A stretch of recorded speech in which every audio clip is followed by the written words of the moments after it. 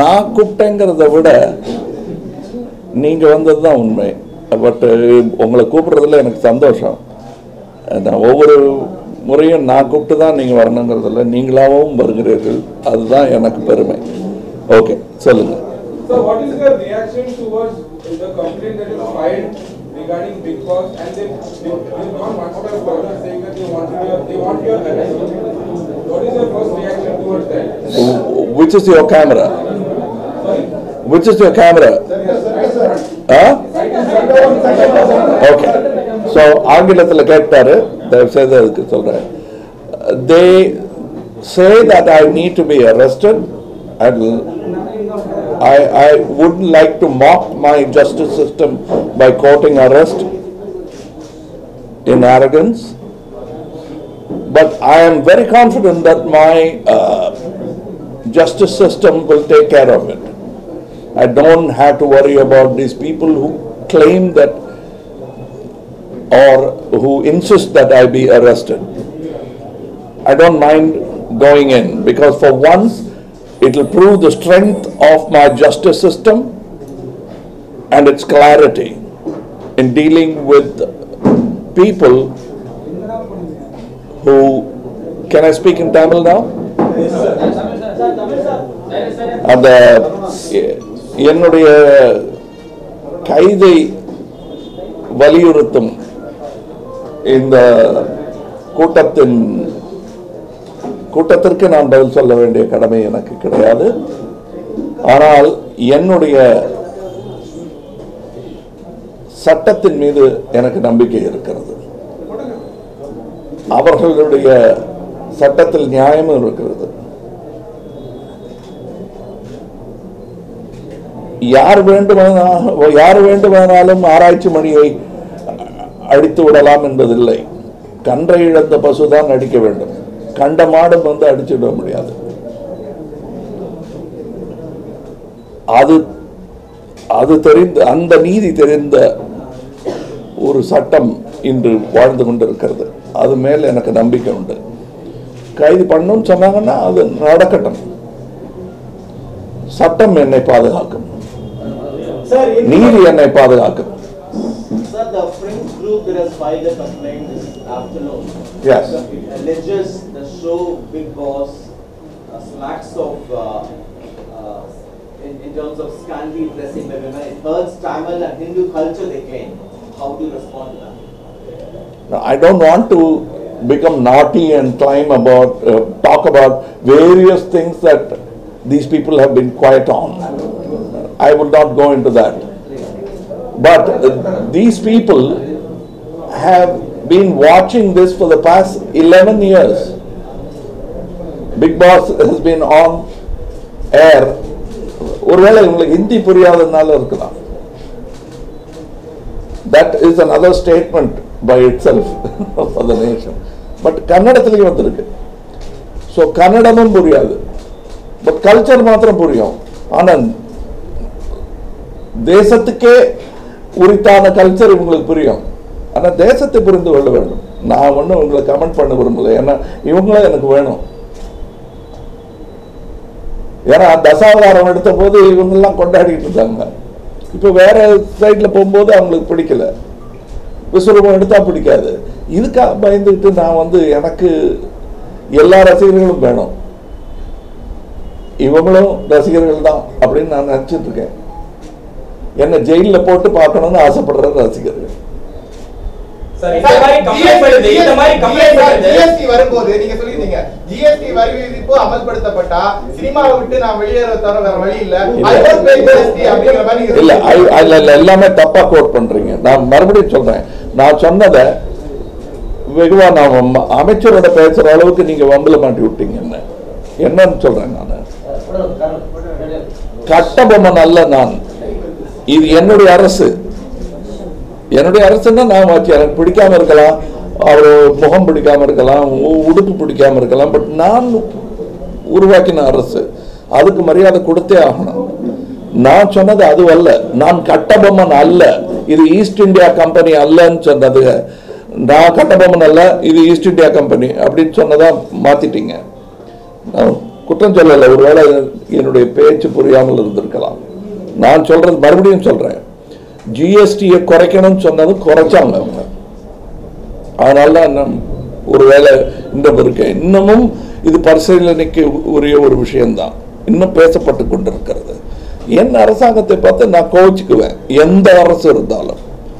அது மக்களுக்கு எதிராக வரும் பட்சத்தில் நான் குரல் கொடுக்குறேன். அவ்வளவுதான். சார் சம் பர்சன்டேஜ் நீங்க கோரிக்கை வைத்ததன் பேர்ல மத்திய அரசு குறைச்சது ஜிஎஸ்டி ஆமா. ஆனா அது திருப்திகரமா இருக்கா? ஆனா சில. இன்னும் அஹ், திரைப்படத்துறை வந்து இல்ல, இல்ல, இல்ல. சூழல்ல இருக்கிறதா சொல்றாங்க உங்களுடைய கண்டிப்பா.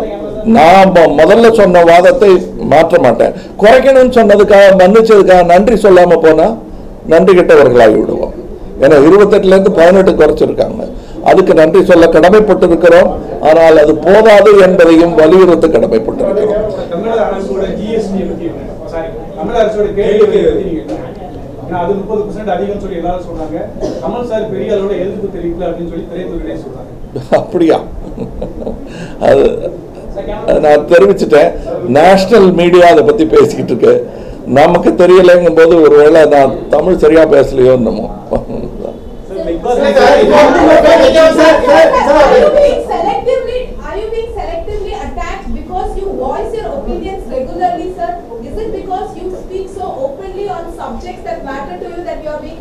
முப்பத்தி ஏழு வருஷமா எனக்கு பாப்புலாரிட்டி அதாவது என்னை நோக்கி ஒரு கேமரா திரும்புங்கிற நம்பிக்கை வந்த காலத்திலிருந்து நான் என்னுடைய இதை பேசிக்கிட்டு தான் இருக்கேன். சட்டமன் கையில்ங்கிற படத்துல மொத்த காட்சியில் நடித்த கமலஹாசன் சீர்கெடுக்காத கலாச்சாரம் இன்று பிக் பாஸ்ல கெட்டு போகுதுன்னா காலதாமதமாக என்னுடைய கைதை அவர்கள் கோருகிறார்கள் என்றே நான் நினைக்கிறேன்.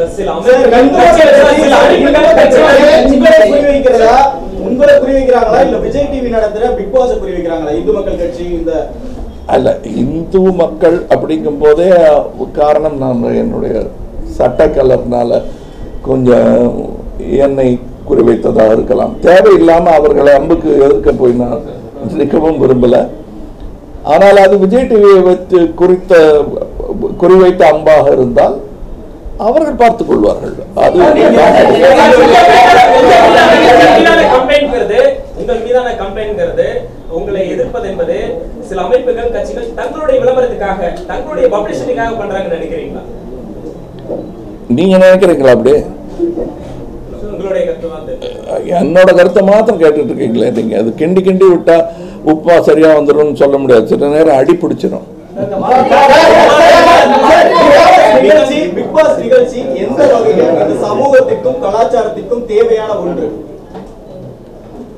கிரிக்கெட் எந்த அளவுக்கு தேவையோ அந்த அளவுக்கு தேவையான ஒன்று.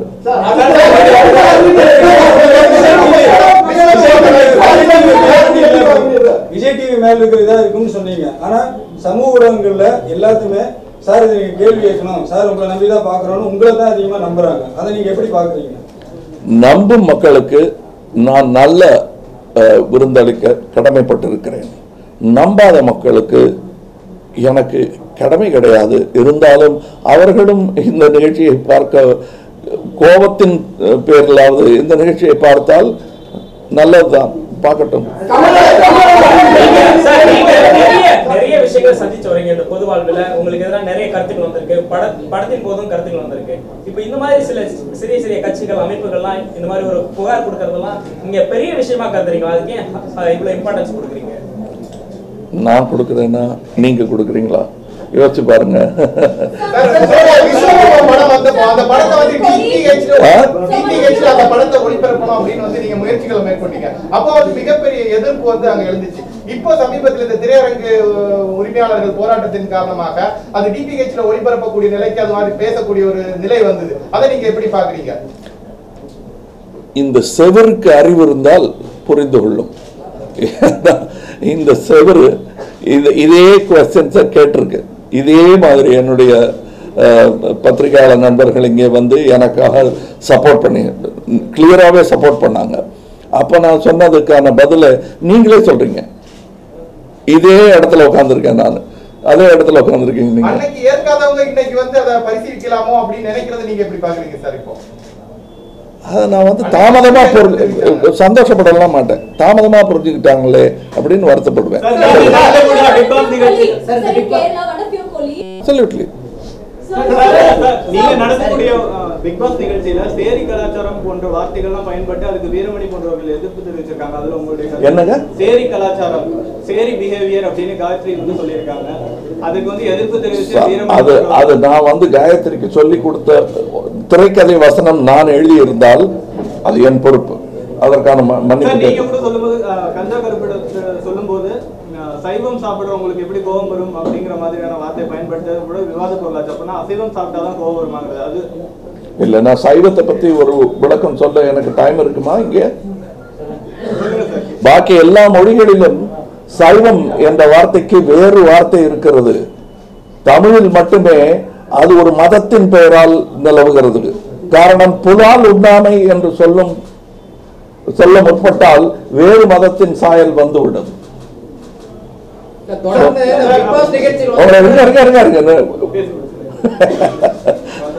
ஏன்னா அது வந்து சைவம் என்பது கையில் எடுக்கப்பட்ட ஒரு வழிமுறை. இன்னொரு ஜாதிகிட்ட இருந்து இன்னொரு மதத்துக்கிட்ட இருந்து நம்ம கத்துக்கிட்ட ஒரு நல்ல விஷயம். அது இருந்துட்டு போகுது.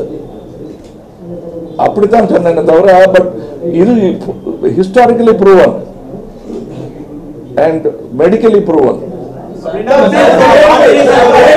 வரி விதிப்பு பத்தி சொல்லிட்டு இருந்தோம் கேளிக்கை வரி அப்படி அப்படின்னு தேடல வாங்குறாங்க ஆனா வரி கேளிக்கை வரி இழக்கப்பட்ட படங்களுக்கு கூட கேளிக்கை வரி வாங்குறாங்க அது மக்கள்கிட்ட வந்து டிக்கெட் படம் கம்மி பண்றது இல்ல அப்ப சினிமாக்காரங்களை எதிர்த்து நீங்க ஏதாவது சொல்லுவீங்களா அந்த மாதிரி என்னங்க? பண்றாங்க கேளிக்கை வரி அந்த டாக்ஸ் இல்லைன்னு சொல்லி என்டர்டைன்மெண்ட் டாக்ஸ் இல்லாத படங்கள்லாம் வருது ஆனா அதுக்கும் என்டர்டைன்மெண்ட் சேர்த்து தான் டிக்கெட் வாங்குறாங்க தேட்டர்கள் எல்லாம் நான் என்ன சொல்றேன்னா நீங்க ஏன் யோசிக்கமா மக்களான நீங்கள் நாம் செய்கிற தொழில் வந்து எவ்வளோ கஷ்டம்னு உங்களுக்கு தெரியும். நான் சொல்லி உங்களுக்கு பிடிச்ச தொழில். நீங்கள் பார்த்துக்கிட்டு இருக்கிற தொழில். அதில் ஒரு கொக்கோ கோலா அல்லது ஒரு பிராண்டு பேரை சொல்ல விரும்பல.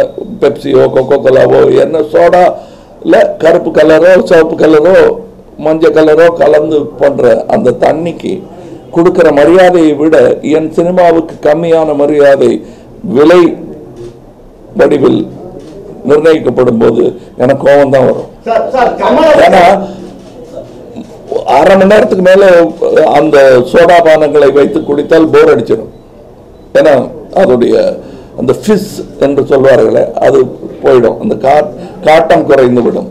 ஆனா நாங்க ரெண்டரை மணி நேரம் தாக்கு பிடிக்கிறோம் கமல் இருக்கும் கமல் ரசிகர்கள் கமல் பின்னாடி ஒரு கூட்டம் இருக்கு. இந்த பிக் மூலயமா மூலியமா நீங்க என்ன கருத்து சொல்ல வரீங்க? கருத்து? இல்லைங்க? கூடி வாழுதல். இப்ப பாருங்க நீங்க வந்து நான் அமைதியா இருக்கேன்னு சொன்னதை நீங்க அமைதியா இருந்தீங்க. சத்தம் போடணும்னு நினைச்சீங்கன்னா சத்தம் போடலாம். நான் என்ன பண்ண முடியும்? நான் உளவியல் மாற்றங்கள் என்ன மாற்றங்கள் நிகழும்? பார்வையாளருக்கு என்ன மாற்றங்கள் நிகழும்? அங்க பங்கேற்றவங்களுக்கு என்ன மாற்றங்கள் நிகழும்? கண்டிப்பாக நிகழும். நீங்கள் வந்து சினிமா பா- நீங்க பாருங்க நீங்க அதாவது இன்னொரு டைரக்டருடைய பேரை எடுக்கிறேன்னு தப்பா நினைக்க வேண்டாம். பட் நான் மதிக்கக்கூடிய ஒரு டைரக்டர் தான் கே பாலச்சந்தர் அவர்கள் கே கே எஸ் கோபாலகிருஷ்ணன் அவர்கள். பணமா பாசமான்னு ஒரு படம் எடுத்தார். பூவா தலையான்னு ஒரு படம் எடுத்தார். அது ஒரு குடும்பத்தில் ஏற்படும் சச்சரவுகளை வெளிப்படுத்துகிறது. ஒரு கூட்டு குடும்பத்தில் இருக்கும் எதிர்நீச்சல்ங்கிறதுல வந்து ஒரு ஒரு ஒன்று குடத்தனத்தில் வாழும் குடும்பத்துடைய தகராறுகள்.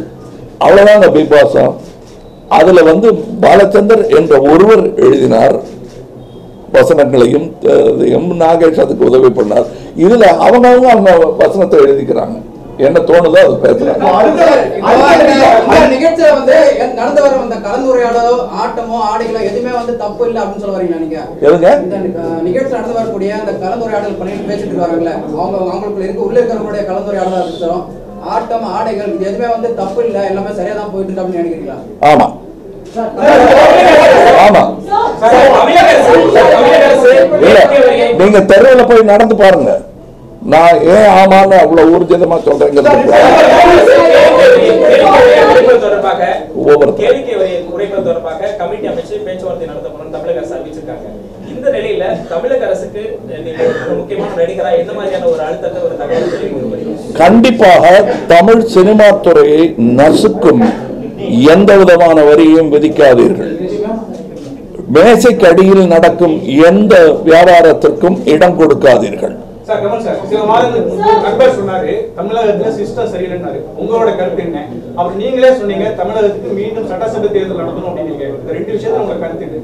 நான் மாற்றவே மாட்டேன் கருத்தை.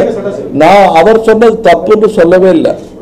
அதனால ரெண்டும் ஒருவித ஒரு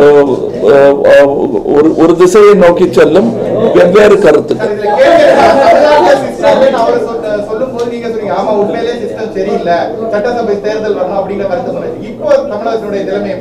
இல்ல நீங்க தப்பா சொல்றீங்க. குரானாலஜியை தப்பா சொல்றீங்க. முதல்ல சொன்னது நான் தான். எப்ப சொன்னேன்னா ஒரு ஒன்றரை வருஷம் முன்னாடி. சிஸ்டம் சரியில்லைங்கிறத சொல்லியிருக்கேன். இப்ப மறுபடியும் அதை வழிமுறையிடாங்க ரொம்ப நன்றி நீங்களும் சொல்றீங்களே நன்றின்னு சொல்லியிருக்கேன் அதை மாத்தி சொல்லாதீங்க இப்ப பிகாஸ் தொடர்ந்து இப்போ இருக்கக்கூடிய அது சொல்லி பல மாதங்கள் ஆயிடுச்சு இப்போ வந்து தமிழக அரசு தொடர்ந்து இப்ப சட்டமன்றம் நடந்துகிட்டு இருக்கு நிகழ்வுகள் தொடர்ந்து நடந்து இப்போ தமிழக அரசுடைய செயல்பாடு எப்படி இருக்குன்னு நினைக்கிறீங்க? இல்ல இது இது நான் அரசியல் பேச வரலைங்க என்னுடைய இதை பத்தி ஏதோ கேட்கணும்னு சொன்னீங்கன்னு இது நீண்ட விவாதம்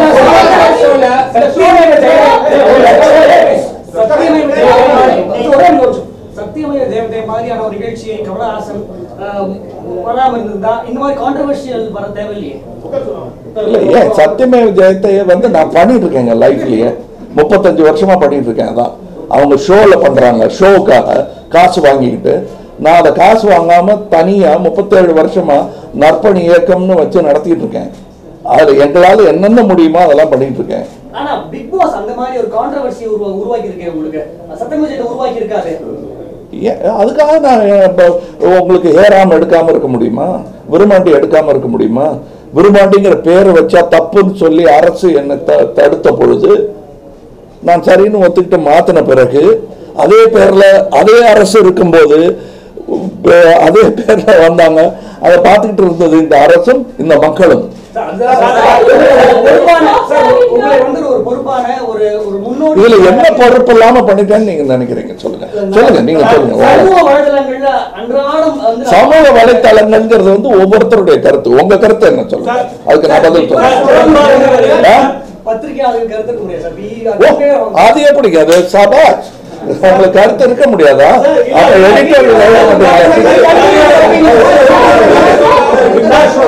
பத்திரிகையாளர்களுக்கு கருத்து இருக்கணும் அதைத்தான் நான் சொல்லியிருக்கேன் நீங்கள் சரித்திரத்தை எழுதி கொண்டிருப்பவர்கள் இன்னைக்கு தேதிக்கு இன்னைக்கு நிகழும் நிகழ்வுகளை சும்மா குறிப்பெடுக்கிறவர்கள் அல்ல. நீங்க மிக முக்கியமானவர்கள். அதனால நான் சொல்றேன் நீங்க எங்களுக்கு கருத்து கிடையாதுன்னு சொல்லவே கூடாது. தயவு செய்து சொல்ல. நடிகர் ரஜினிகாந்த் அரசியல் கட்சியை தொடங்குவதற்கான மும்முரமான வேலையில ஈடுபட்டிருக்காரு. இந்த நிலையில அவர் கட்சி தொடங்கினால் ஒரு நண்பரா நீங்க என்ன நினைக்கிறீங்க? அவர் சாதிக்க முடியும் நான் கட்சிகளுக்கான என்னுடைய விமர்சனம் என்னவாக இருக்குமோ அதெல்லாம் அவருக்கும் பொருந்தும். நியாயமாக இருந்தால் நல்லது நடக்கும். நியாயமாக இல்லை என்றால் இன்றைய விமர்சனங்கள் யார் யாருக்கெல்லாம் நான் எடுத்து விநியோகம் செய்கிறேனோ அதே விமர்சனம் அவருக்கும் பொருந்தும். அந்த நண்பரா நான் அவருக்கு கொடுக்கக்கூடிய அறிவுரையை இங்கே சொல்லுவேன். நான் இதுக்கு முன்னாடியே சொல்லியிருக்கேன். அவர் கூட சற்று முன்னாடி நீங்க வந்து ஆங்கில தொலைக்காட்சிக்கு ஒரு பேட்டி கொடுத்திருக்கீங்க. சற்று முன்பு கொடுத்த அந்த பேட்டியில வந்து அவர் ஒரு அந்த நெறியாளர் கேட்ட கேள்விக்கு அரசியல் தமிழக அரசியல்ல என்னுடைய பங்கும் இருக்கும் அப்படின்னு நீங்க சொன்னதா சொல்றாங்க. இருக்கும் இல்லை இருந்திருக்கிறது என்பதுதான். என்னுடைய பங்கு இல்லைங்கிறீங்களா தமிழக அரசியல்ல? உங்க பங்கு இல்லையா? உங்க பங்கு இல்ல? அது இருக்கும். அப்படித்தான் இருக்க வேண்டும் நாம். ஏன்னா அதன் தப்பு இப்படி சேர்ந்துட்டாருன்னு நினைக்க வேண்டாம்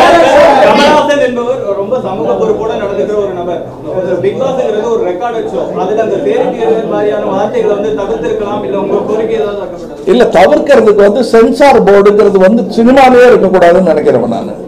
அங்க எப்படி சென்சார் பண்ண முடியும்? அதுவும் நம்ம அதை தடுக்கவே முடியாது.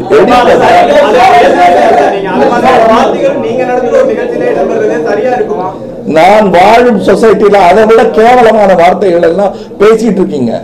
அதுக்கு என்ன பண்றோம்? சாதின்னு பேசுறீங்களே. அதை உங்களால நீக்க முடிஞ்சதா? அடுத்த வீட்டுல ஒரு பிரச்சனை நடக்கும்போது நம்ம வீட்டுல அம்மா அப்பா அஹ், கேட்கறாங்க அவங்க வீட்டுல அவங்க இருக்காங்க அப்படிங்கிற மாதிரி சொல்லுவாங்க. ஆனா ஒரு ஷோவா நடத்தி அதை பாதுகாப்பு சொல்லும்போது அதுக்கான ஒரு எப்படி அந்த பக்குவம் அந்த சின்ன பசங்களுக்கு ஒரு இளைஞர்கள் வந்து எந்த சூழ்நிலையை கொண்டு போவாங்க? அதான் அடுத்த வீட்டுல நடக்கிறத பார்த்து தான் நம்ம கத்துக்க முடியும். அவங்க அடிச்சு பொண்டாட்டி தலையை முடிய பிடிச்சி இழுத்து அடிச்சிட்டு இருந்தாங்கன்னா இந்த மாதிரிலாம் பண்ணிடாதடா தம்பி அப்படின்னு சொல்றதுக்கு அது ஏதுவாக இருக்கும். இருக்கக்கூடிய சொல்லாடல் அனைத்துமே வந்து சரின்னு அப்படின்னு சொன்னீங்க. தமிழ் தாய் வாழ்த்தை இழிவுபடுத்துற மாதிரி நிறைய காட்சிகள் அரங்கேற்றப்பட்டது. அது கரெக்ட்னு சொல்றீங்களா? இல்ல. வாங்க. இப்படி கொஞ்சம் இல்ல சரி சரி. தமிழ் தாய் வாழ்த்தை இழிவுபடுத்தல. அவங்க கத்து கொடுத்துருக்காங்க. பாதி பேருக்கு தமிழ் பேச வராது. கரெக்டா இல்லையா எல்லாமே தமிழ் நடிகர் தானே சார் இல்ல தமிழ் நடிகர்கள்லாம் தமிழ். இல்லைங்க இல்லைங்க. பல நடிகர்களுக்கு இப்ப நம்பியார் அண்ணன் அவர் இல்லை அதனால நான் அவரை பத்தி பேசலாம். அவருக்கு வந்து தமிழ் பேசும்போது கொஞ்சம் மலையாள தோணி இருக்கும். எம்ஜிஆருக்கு இருக்காது. ஆனா அவருக்கு என்னவோ இருந்துச்சு. பி சுசிலா பாடும்போது அது இருக்காது. ஆனா கண்டசாலா பாடும்போது கொஞ்சம் தெலுங்கு சாயல் இருக்கும். அதுதான் இந்த நாடு. அதை கேள்வி பண்ணக்கூடாது தமிழ் தமிழ் நடிகர்கள் தான் இருந்தாலும் அவங்க வெவ்வேறு மாநிலத்தை வந்து எல்லாருமே கண்ணாம்பா சாவித்திரியா ஆகிட முடியாது. ஸோ அவங்களுக்கு சொல்லி கொடுக்கும்போது அவங்க வேற மாதிரி தான் சொல்லுவாங்க அது. இல்ல அவருக்கு பதில் சொல்லணும். இருங்க. வெயிட் லாட் ஆன்சர் தமிழ் தாய் வாழ்த்த கத்து கொடுத்தது தப்புன்னு சொன்னால் நீங்க தப்பு. கற்றுக் கத்துக் கொடுக்கும் போது அவங்க கோணாமணம் பாடுவாங்க. ஏன்னா அவங்களுக்கு தெரியாது. நான் அப்படித்தான் என் ஜனகணமன கத்துக்கிட்டேன். ஜனகணமனங்கிறது பெங்காலி பாட்டு. உங்களுக்கு பாட வருமா முழுசா? ஒண்ணே சொல்லுங்க மனசை தொட்டு சொல்லுங்க. தப்பு ஒண்ணும் இல்ல. உங்களுக்கு ஜனகணமனவை கரெக்டா கத்து கொடுக்கும் போது நீங்க ஜனகணமனன் பண்ணா அது தேசிய கீதத்தை பண்ணுவதா பண்ணுவதாகாது புரியாமல் சொல்லுகிறீர்கள். ஜன கணமனன் சொல்லணுங்க. ஜன நனமனன் சொல்லக்கூடாது. அ- அப்படின்னு நான் சொல்றது வந்து எப்படி தேசிய கீதத்தை கேலி செய்வதாகும்?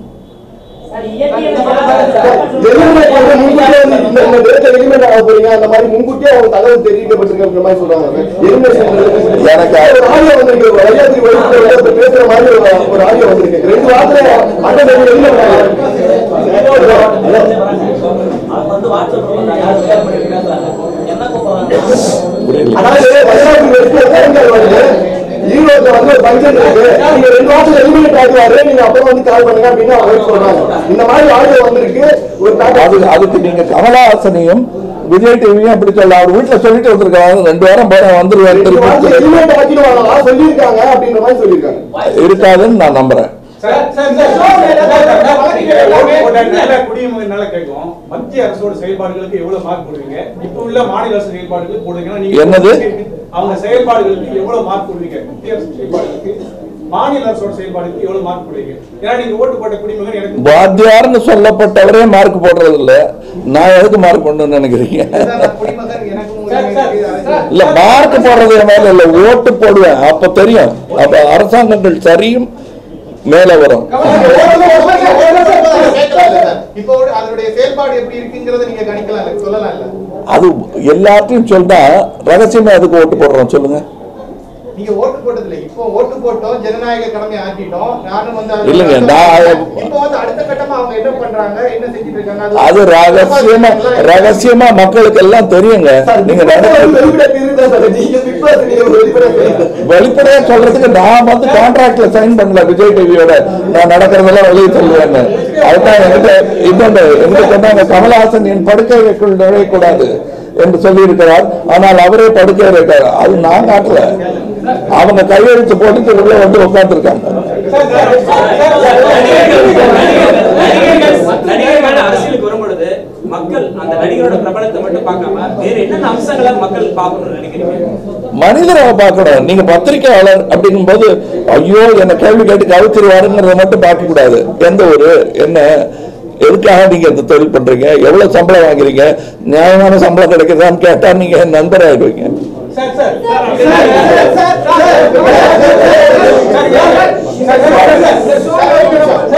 சார் இந்த ஷோக்கு எதிராக தொடரப்பட்ட வழக்குகள் எல்லாமே ஒரு சிலரால ஒரு சில ஒரு சில கூடுதலால இல்ல கேட்கல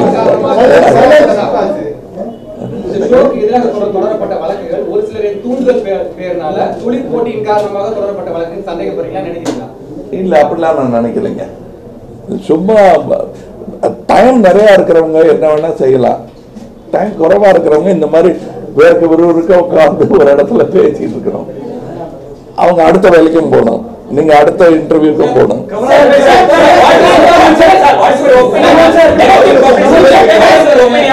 நெகட்டிவ் பப்ளிசிட்டி பத்தி நீங்க என்ன நினைக்கிறீங்க ஒரு பர்டிகுலர் ஷோக்கு இல்லைங்க நெகட்டிவ் பப்ளிசிட்டி நெகட்டிவாகவும் வரலாம். ஆனால் நாங்கள் ரெண்டு எங்கள் தொழிலே முன் இப்போ இல்லை.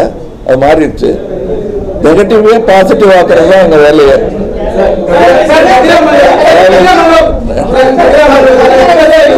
தமிழகத்தில் ஊழலும் லஞ்சமும் வந்து தலைவிரித்தாடுது அப்படின்னு நீங்க சொல்லியிருக்கீங்க. அதுக்கு வந்து நிதியமைச்சர் ஜெயக்குமார் வந்து பத்தாம் ரூபா சொல்றத கமலஹாசன் சொல்றதை நான் ஏத்துக்க முடியாது அப்படின்னு சொல்லியிருக்காங்க பத்தி உங்களோட என்னங்க ரோடு சரியில்லைன்னு சொல்லலாம் எந்த இடத்துல சரியில்லைன்னு காட்டு அப்படின்னு சொல்ல முடியாது. நான் கடந்து போயிருப்பேன் அந்த ரோட. நான் நான் சொல்றேன் எல்லா துறையிலும். அப்புறம் என்னத்துக்கு அவர் கேட்கிறாரு எல்லா துறையிலும்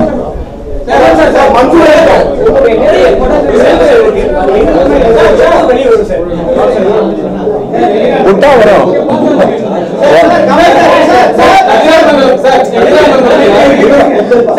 நீங்க விளம்பரப்படுத்தல் நடிக்கிறதுக்கும் டிவி நிகழ்ச்சியில பங்கேற்கிறதுக்கும் உங்க பண தேவை காரணமா இல்ல விரும்பி செய்றீங்களா விரும்பி தான் நான் செய்யறேன் அது எப்பவோ செஞ்சிருக்கலாம் நான் செய்யற படங்களே நான் விரும்பி தான் செய்யறேன் ஆனா பண தேவைக்காக நான் செய்யவில்லை சமூக சேவைக்காக நான் செய்கிறேன்னு சொல்றதுக்கு நான் அரசியல்வாதி இல்லை இதுதான் என்னுடைய சம்பாத்தியம் இதுல இருந்து தான் என் வீடு வீட்டு வேலைகள் நடவு நடைபெறுகிறது ஆனா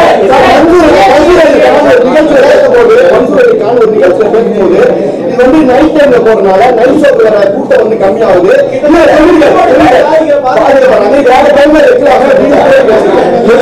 போய் சொல்ல சொல்லுங்க ஐபிஎல் சொல்ல சொல்லுங்க ஒரு சமயத்துல அவங்க பேசி தப்பு அதை எதிர்த்து கேள்வி கேட்கணும்னு நினைக்கிறீங்க ஆனா சேனல் அதுக்கு இல்ல இப்படி கேட்க வேண்டாம் சொன்னா நீங்க என்ன முடிவு எடுக்கலாம் இல்ல இல்ல நான் எடுக்கிறதா முடிவு ஜிஎஸ்டி எந்த ஒரு ஹீரோவுமே அவரோட சம்பளத்தை வந்து குறைக்கவே இல்லை. மக்கள் வந்து பாதிக்கப்படுறான்னு சொல்றீங்க. ஆனா எந்த ஒரு ஹீரோவுமே அவரோட சம்பளத்தை குறைக்கிறது வந்து தயாரா இல்ல. இதை நீங்க எப்படி பாக்குறீங்க நீங்க உங்க சம்பளத்தை குறைச்சிங்களா? இல்ல சார் ஹீரோ இல்ல சார் கோடி நீங்க ஹீரோக்கள் வந்து கோடிக்கணக்கில் சம்பளம் வாங்குறாங்க. மக்கள் வந்து பாதிக்கப்படுறாங்கன்னு ஜிஎஸ்டினால. மக்களை பத்தி பேசவே இல்லையே இல்ல சார் நீங்க நான் மக்களை பத்தி பேசல நான் எங்க துறையை பத்தி பேசினேன் அதனால நீங்க நீங்க கேள்வியை திருப்பாதீங்க